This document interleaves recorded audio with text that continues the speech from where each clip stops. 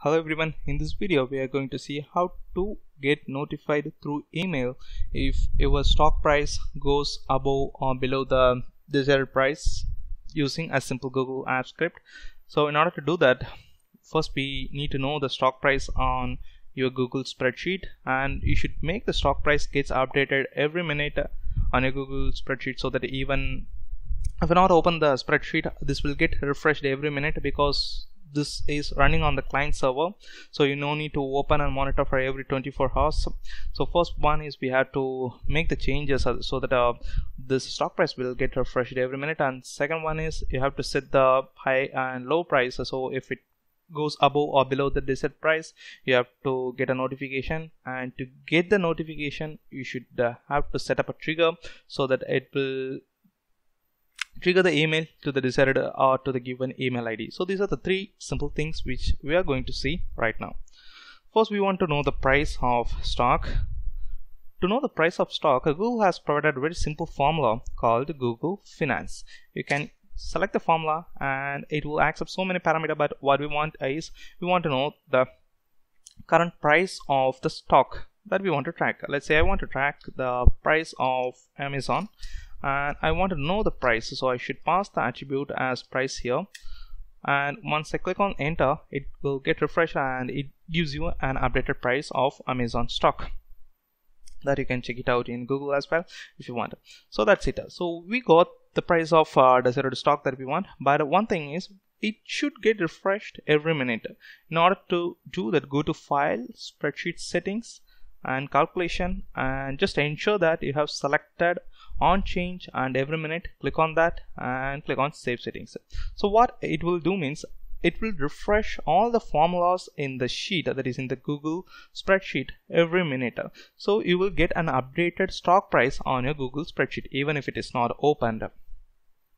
Now let's go to script editor and see how to write a simple program so that you will get notified when there is a change in the stock price so I have named this uh, project as a stock price tracker and I'm going to change this function as a stock price.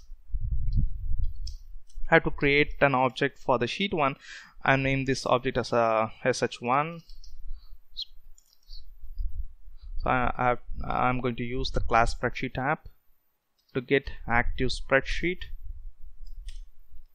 and uh, I want to create a variable to get the price of Amazon. Let's say Amazon price and I'm going to with the price that is uh, stored on the range A1 of this sheet 1 so osh1 dot get sheet by name and I should give the sheet name here sheet 1 and I should get the range of the sheet so get range.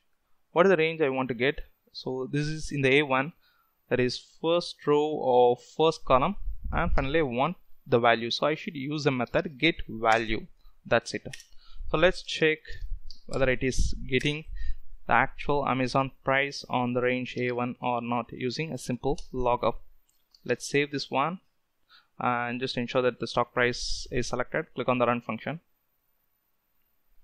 go to view and logs yes 1125.35 yes it's getting the correct value. So let me comment this one. So now what I want is I should get a notification through email if the price goes above my desired price or goes below my desired price. So let's say if Amazon price right now it's 1125 if it is goes greater than 1200 then I should get an email.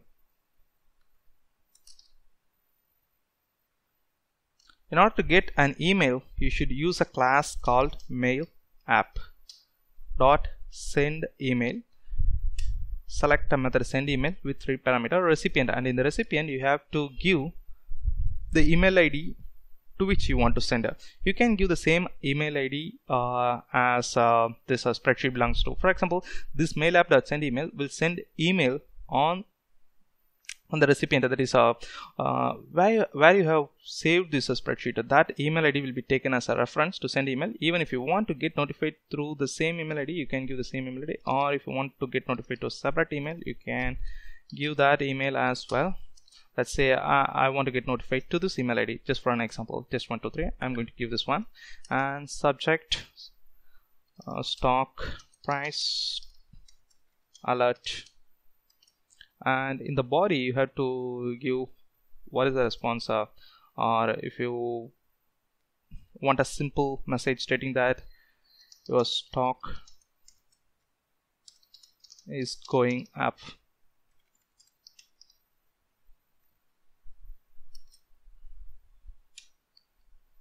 that's it. So if Amazon price is greater than 200 you will get an email to this email ID with the subject stock price alert and with an email your stock is going up. And else if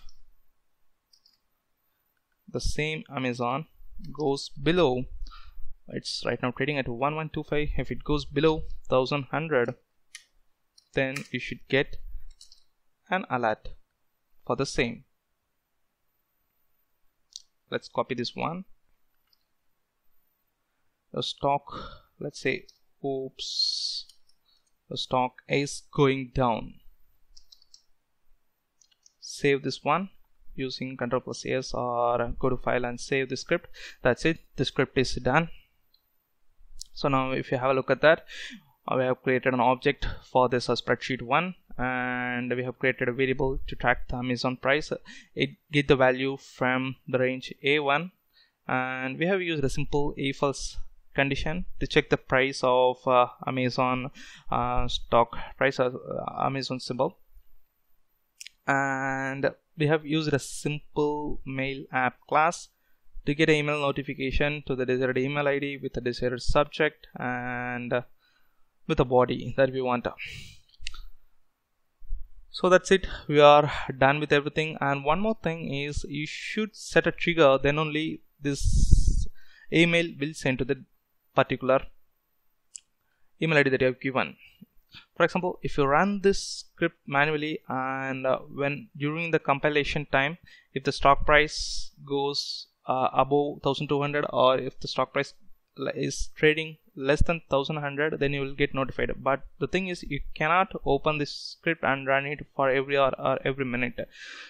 You have to set up a trigger functionality so that will run on behalf of you. So let's see how to set up a simple trigger. There are actually two ways to set up a trigger. One is a programmatic trigger and another one is a ui trigger. So ui uh, google app script will have the settings to get the trigger so that you can trigger this from the options that was provided in the Google Apps script itself. So go to edit and current project trigger. As of now, no trigger has been set up. So click on this one and here you have to select the function name that should get executed and our function should be executed on a time driven basis so select the time driven and it should be a hour timer so click on hour timer and it should get executed every hour. If you want to get executed or if you want to run the script for every two hour you can select two hour or if you want to run the script for every hour click on every hour and click on the save. So it will ask you for authorization on a very first time so you have to review the permission. Select the account sometimes you will get this app is end verified. Click on the advanced and click on just go to stock price tracker unsafe and type a word continue here and click on next. So that's it. Give allow. So we are done with the settings so what we'll do means uh, this spreadsheet get refreshed every minute and if the stock goes above or below the desired price. And this trigger functionality will validate that and send an email to you. So this is a simple stock price tracker. And if you like this video give thumbs up. And don't forget to subscribe to my channel. Thank you for watching this video. Bye bye